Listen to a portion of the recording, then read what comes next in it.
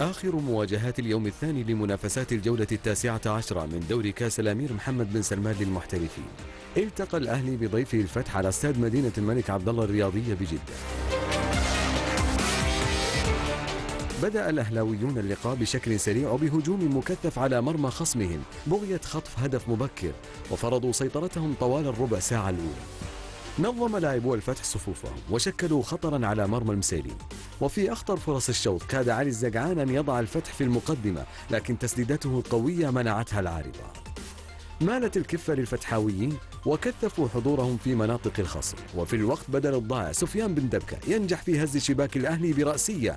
بعد ركلة ركنية نفذها جوستافو لينتهي الشوط الأول بتقدم الضيوف بهدف دون رد.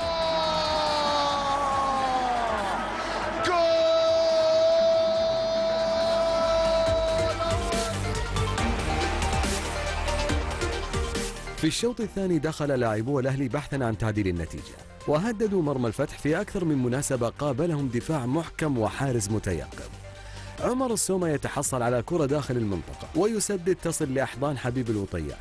وفي ظل اندفاع لاعبي الأهلي كاد علي الزقعان يضاعف النتيجة لكن ياسر مسيلم يتألق وينقذ الموقف.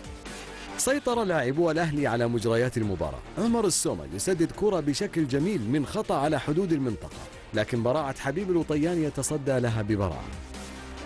لم تنجح محاولات الأهلي العديدة في هز شباك الفتح فيما تبقى من وقت. حتى أعلن الحكم نهاية اللقاء بانتصار الفتح بهدف دون مقابل.